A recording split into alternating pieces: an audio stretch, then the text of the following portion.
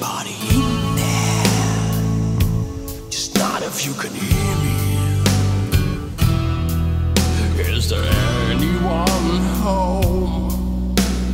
Come on now. I hear you feeling down. Well, I can ease your pain, get you on your feet again. information first. Just a basic fact.